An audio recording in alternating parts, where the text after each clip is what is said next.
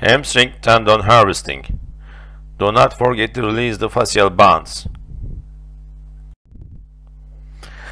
The harvesting of semitendinosus and gracilis is still met with a certain anxiety by many surgeons, as it, it is uh, essentially a closed, blind procedure involving the introduction of a tendon stripper through a small distal skin incision. Amongst the hidden dangers are the accessory bands that may arise from the semitendinosus and gracilis tendons and insert separately from the pes anserinus. The bands can potent resulting in a, in a short ineducated graft, both in length and diameter. Little has been reported concerning the anatomy of these bands. Previous anatomical studies have found a common accessory insertion of semitendinosus to gastrocnemius fascia, and a fascial sling that commonly invests semitendinosus as it emerges under the semimembranous tendon. Even if the bone tendon bone graft remains a surgeon's first choice, proficiency in a, using a hamstring technique with special care in harvesting a semitendinosus and gracilis tendons will be useful in special situations or when bone tendon bone, tendon bone grafts are unavailable or undesired. This video details the anatomy of semitendinosus and gracilis tendons, describes tendon harvesting techniques, and potential morbidity associated with harvesting and discusses how to avoid potential pitfalls. The gracilis and semitendinosus tendons are located between layer 1, which includes the sartorius, and layer 2, which includes the superficial medial collateral ligament. Proximal to insertions of pes anserinus. The sartorius tendon, part of layer 1, is superficial to the gracilis and semitendinosus tendons. The sartorius tendon, however, fuses with the gracilis and semitendinosus tendon distally, forming pes anserinus, which then inserts onto the proximal anteromedial tibia.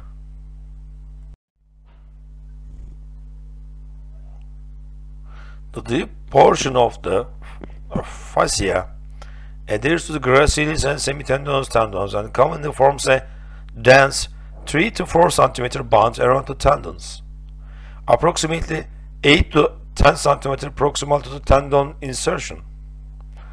The band connects with the eh, medial intermuscular septum and semimembranous muscle sheath and distally deep fascial layer becomes continuous with the, with the posterior crural fascia.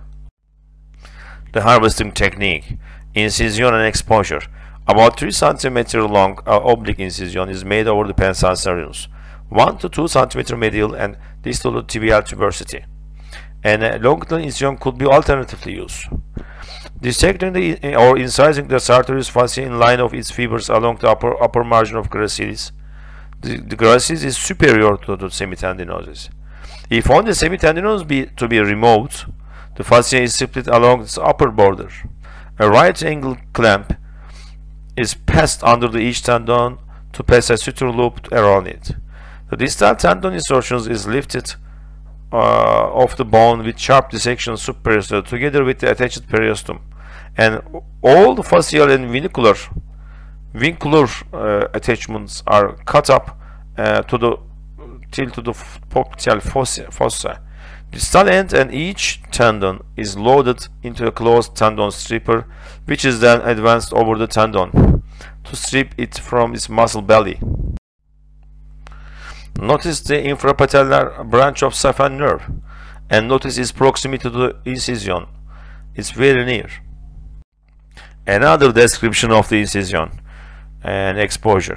An oblique 3 cm incision is made about 1 cm medial to the tibial tubercle and approximately 5 cm below the joint line. The section is made through the skin and subcutaneous tissue until the sartorius fascia is identified. The gracilis and semitendinous tendons can now be seen and felt just below the fascia. The tendons are picked up with a Kocher using scissors. The fascia is opened above the tendons and the pes anserinus bursa identified. The tendons are detached from the tibia by sharp dissection using knife. This corner is lifted up to, to vis visualize the underlying medial collateral ligament Kochers are placed on both tendons and, and the conjoint tendon divided. Look at the picture. The bounce from the tendon to the gastrocnemius is very descriptive picture which shows the fascial bounce uh, or near the tendons. Structure of uh, gracilis and semitendinosus. The gracilis is round, palpable structure at this level. It's palpate more easily than the flatter semitendinosus tendon. The gracilis superior located and semitendinosus inferiorly located and can be palpated deep to the layer 1 at this position are separate structures as described previously. The section is carried down uh, sharply through the subcutaneous tissue and fed to expose the sartorius tendon layer. The sartorius tendon layer is incised carefully along the course of the gracilis and semitendinosus, either above the gracilis tendon or between the gracilis and semitendinosus tendon, depending the surgeon's preference. The sartorius tendon layer, layer 1, is incised carefully along the course of the gracilis and semitendinosus, either above the gracilis tendon or between the gracilis and semitendinosus tendon, depending on the surgeon's preference.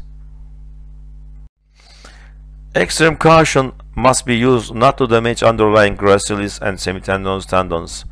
And equally important superficial medial collateral ligament layer, layer 2. Also care must be taken to preserve integrity of layer 1 because it can serve as a valuable soft tissue covering over the graft fixation device on the tibia. Because the tendons commonly adhere to layer 1, they, uh, they must be isolated carefully to avoid damaging the sartorius tendon. The knee is placed in either 90 degree bend or figure of four position to improve exposure and relax tension on the tendinous structures and saphenous nerve, which lies superficial to gracilis tendon at the posterior medial joint line. Look at the picture and small arrow shows uh, nerve course. Using blunt finger dissection to the and Metzenbaum scissors the tendons can be isolated proximally towards the musculotendinous junction. Adhesions, adhesion, adhesion, adhesions and uh, accessory bonds are dissected carefully away from the tendons to facilitate passage of stripper over the tendon. Carefully notice the saphenous nerve that crosses the gracilis tendon at the posterior medial joint line. Look at the picture and small arrow. The inferior fibers of semitendinosus tendon have uh, often diverge to form an accessory insertion more distally on the tibia. Look at the long arrow. Great care must be used when dissecting the semitendinosus proximally because it can have a, up to the five accessory bands or insertions that need to be released before advancing the tendon stripper. The most consistent, consistent accessory insertion diverges from the main tendon and average 5, uh, uh, 5 centimeter range approximately the conjoint insertion site and inserts. Once the tendon have been harvested and prepared, they uh, are ready to use reconstructing the anterior cruciate ligament by the technique and fixation methods chosen by the surgeon. Pitfalls Perimeter graft amputation Perimeter amputation of the hamstring tendons while advancing the stripper is major pitfall of this procedure. The gracilis and semitendinous tendon have fascial bonds and accessory insertions that can impede the advancement of the tendon stripper. Look at the great picture which shows uh, between the semitendinous gracilis uh, intertendinous bonds and vinculus uh, structures to posterior facial cruris and uh, popliteal fascia. The, these bonds are were highly variable in size and consistency but all represented a tendon structure arising and diverting from the main tendon. Largest and most common, most constant bond originated from semitendinosus and inserted into gastrocnemial fascia. gracilis tendon had between 1 and 4 accessory bonds. Most commonly these bonds were usually inserted into the sartorius or gastrocnemius fascia. Semitendinosus tendons were right between 2 to 3 accessory bands and 3 being, uh, being most common finding. These bands were most commonly inserted into the gastrocnemius and popliteal fascia.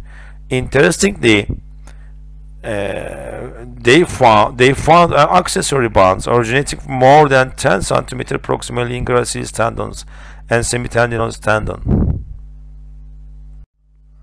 Candal-Couto uh, and colleagues found a constant bond arising from the semitendinosus at 5 to 9 cm inserting the gastrocnemius fascia.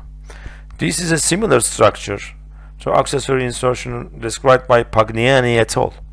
They found bit, uh, this bond in, in 77% of the specimens they dissected. Interestingly, Candal-Couto found it in all uh, dissections, in all 10 dissections, semitendinosus tendons uh, constantly. Candal-Couto and uh, colleagues uh, found accessory bonds arising from also gracilis tendon dissected. The number varied uh, from 1 to 4, but most commonly there were two uh, bonds with sartorius and gastrocnemius fascia were typical sites of insertion. Like Ferrari and the uh, Couto in uh, France found semitendinous tendons to be covered by a fascial ceiling as they emerged under the semimembranosus. Additionally, they found that the, under this sling, semitendinosus may also give rise to several accessory bands of different morphology, all inserting to the gastrocnemius fascia. If, if these bonds are not carefully freed from the tendons, the tendon stripper inadvertently uh, can transect the main tendon, leaving the surgeon with a shortened graft. The surgeon should be prepared to use an alternate graft source, including the contralateral hamstring tendons if necessary. The surgeon also should consult the patient and family prior to surgery about this potential complication and its remedy. Another potential problem is uh, in the harvesting uh, procedure, medial collateral ligament damage. Medial collateral ligament can be mistaken for one of the hamstring tendons if one is not careful or lacks the knowledge of the anatomy, resulting in damage to this structure. Take extreme caution not to deal with scalpel as the underlying tendons and most specifically, the superficial collateral ligament layer can be easily damaged.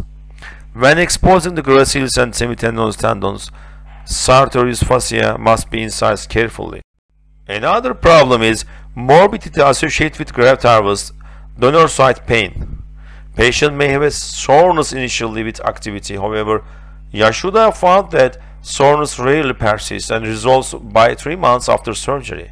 Harvesting of the gracilis and semitendinous tendons are appears to cause a minimal restriction of activity. Another problem is hamstring weakness. It seems obvious that clinical weakness will arise after processing of the gracilis and semitendinosus. Nevertheless, this was not known conclusively.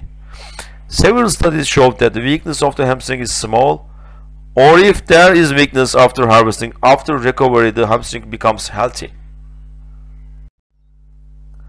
Another problem regarding the uh, hamstring tendon harvesting is saphenous nerve damage. Saphenous nerve crosses the superficial to the gracilis tendon at the posterior medial joint line. While harvesting the tendons, placing the leg in figure of 4 position maximally decrease the tension on the saphenous nerve, thereby decreasing the risk of damage. Look at the picture and look at how very greatly uh, notice uh, notice this picture uh, how we very greatly see in this saphenous nerve over the gracilis tendon Damage to this nerve can present with complaints of paresthesias in the anteromedial area of the lower leg and medial-sided knee tenderness and also it has been associated with the development of reflex sympathetic dystrophy. Look at this as uh, hypoesthetic area. This picture is very greatly uh, demonstrate this and the treatment options of Saphen neuralgia following the hamstring harvest include observation combined with analgesics and possibly neuroleptic medication, topical anesthetic patches, neurolysis or nerve resection. This neuralgia can mimic other knee disorders, peripheral vascular disease or lumbar nerve root compression. The e easiest step to confirm the diagnosis of neuralgia is to perform an anesthetic test injection. Thanks for the Ibrahim Tuncay and uh, his colleagues. The fascial band from the semitendinous to gastrocnemius, the critical point of hamstring ha harvesting.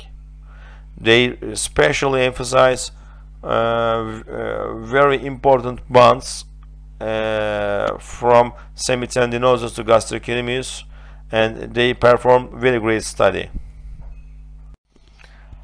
The risk of premature tenotomy while harvesting semitendinous graft has been reported in some series.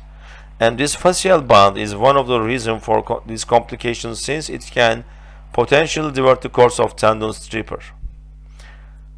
The largest and most constant band originates from semitendinous to gastrocnemius. Warren and Marshall wrote a very great article about this topic.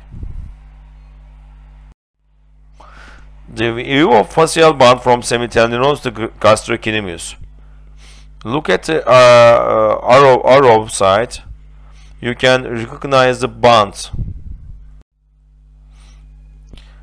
Discussion.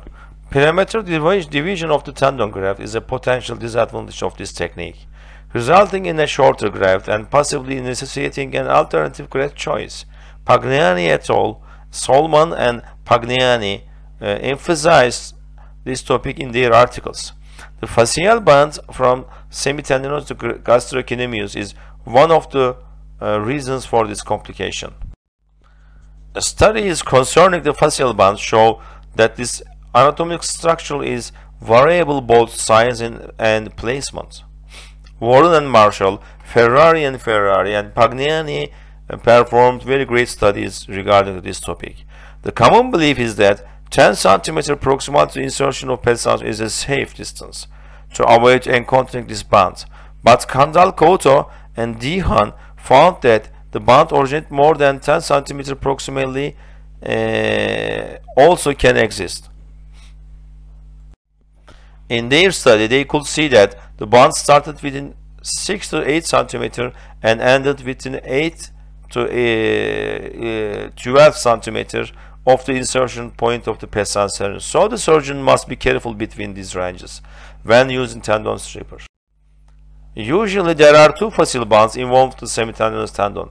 One is close to the insertion of the tendon, which did not, which Ibrahim Tuncay and colleagues did not measure this distal band in their study.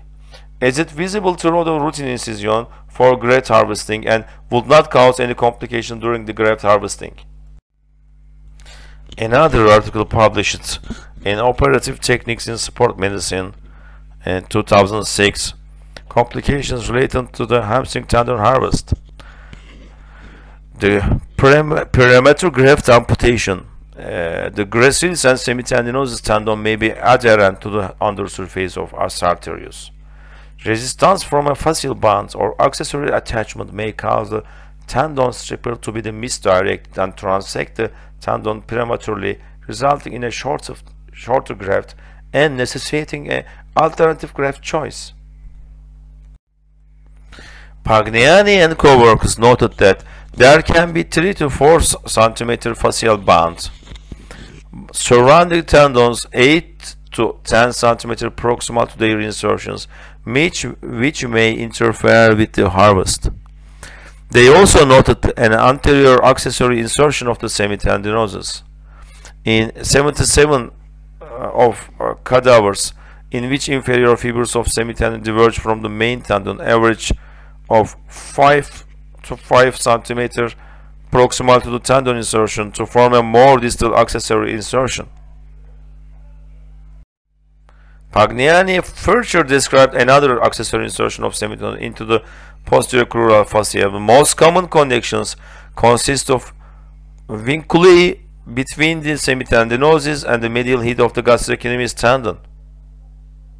Look at these accessory tendons in the picture. I would like to thank for my great teacher, educator, Prof. Dr. Ahmet Ronaydan, who contributed my basic knee surgery knowledge and change my life. Thanks for watching my videos. Please do not forget to subscribe to my non-profit education channel.